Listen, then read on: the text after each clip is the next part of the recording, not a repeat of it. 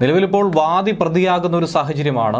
കഴിഞ്ഞ ദിവസം തലസ്ഥാനത്ത് മേയറുടെ പരാതിയിന്മേൽ ഡ്രൈവർക്കെതിരെ നടപടിയെടുത്ത സംഭവത്തിൽ ഏറ്റവും ഒടുവിലുണ്ടായിരിക്കുന്നത് തുടക്കത്തിൽ ഡ്രൈവറെ അങ്ങേയറ്റം ക്രൂശിച്ച് മേയറെ വാഴ്ത്തിപ്പാടിയ ഒരു സ്ഥിതിഗതി ഒക്കെ തന്നെ ഇപ്പോൾ മാറിയിരിക്കുകയാണ്. കാര്യങ്ങൾ കൂടുതലായി പരിശോധിച്ചപ്പോൾ സി സി ടി വി ദൃശ്യങ്ങളും മറ്റ് തെളിവെടുപ്പും ഒക്കെ കഴിഞ്ഞപ്പോൾ നടന്നുകൊണ്ടിരിക്കുമ്പോൾ മനസ്സിലാക്കാൻ കഴിയുന്നത് മേയറുടെ എടുത്തുചാട്ടം തന്നെയാണോ ഇതിന് പിന്നിലുള്ളതെന്നാണ് ആദ്യം തന്നെ സി സി ടി വി ദൃശ്യങ്ങൾ പരിശോധിച്ചതിലൂടെ ബോധ്യമായ ഒരു കാര്യമെന്ന് പറയുന്നത് ബസ്സിനെ ഓവർടേക്ക് ചെയ്ത് സീബ്ര ക്രോസിംഗിൽ മേയറുടെ കാർ സ്വകാര്യ വാഹനം നിർത്തിയിട്ടു എന്നുള്ളതാണ്. രണ്ടാമതായി പറയേണ്ടത് ബസ്സിൽ അതിക്രമിച്ച് കയറി എം എൽ എ ജനങ്ങളെ മുഴുവൻ പറഞ്ഞുവിടുകയും പോലീസിനടുത്ത് കേസെടുക്കണമെന്ന് ആവശ്യപ്പെടുകയും ചെയ്തു.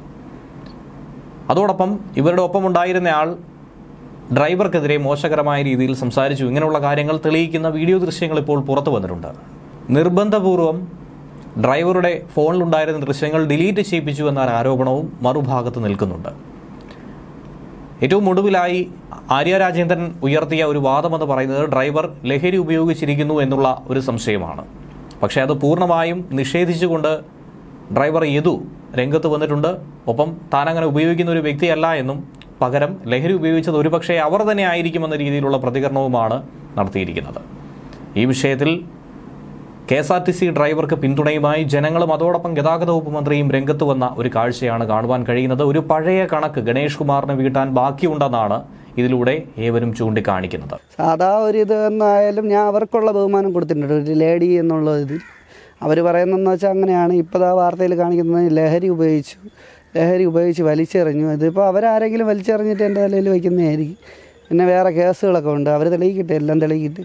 അവരെ പവർ അവർ കാണിക്കുന്നു. അത്രയേ ഉള്ളൂ. M L A M L A M L A എന്ന് പറയുന്ന ഒരാൾ ഒരു ഒരു ചേട്ടനാണ് മുണ്ടുകൊടുത്ത ഒരു ചേട്ടൻ. എം എൽ എ ആണെന്ന് പിന്നീട് പറഞ്ഞപ്പോഴാണ് അറിയുന്നത്. ഹസ്ബൻഡ് ആണെന്ന്. അവരാണോ? സച്ചിനാണോ? വ- വ- ആ ഡാർ ഡോർ ഇറുക്കി ഇടിക്കുകയായിരുന്നു. ഹൈഡ്രോളിക് ഡോർ ആയതുകൊണ്ട് ഞാൻ വിചാരിച്ചാലല്ലേ തുറക്കാൻ പറ്റുള്ളൂ. ഇറുക്കി ഇടിച്ച് വണ്ടി മുന്നോട്ട് എടുക്കണമെങ്കിൽ ഡോർ തുറക്കാൻ പറഞ്ഞ് തുറന്നു കൊടുത്തു അകത്ത് കയറിയിരുന്നു.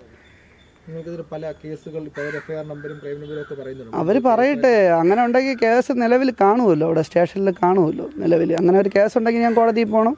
കേസ് വാദിക്കണം. കാര്യങ്ങളൊക്കെ ഉണ്ടല്ലോ. കേസ് ഉണ്ടെങ്കിൽ ഇല്ലാത്ത കേസുകൾ ഇവരെ പാർട്ടിക്കാർ തന്നെ പല കേസുകളും എനിക്കെതിരെ പറഞ്ഞിട്ടുണ്ട്.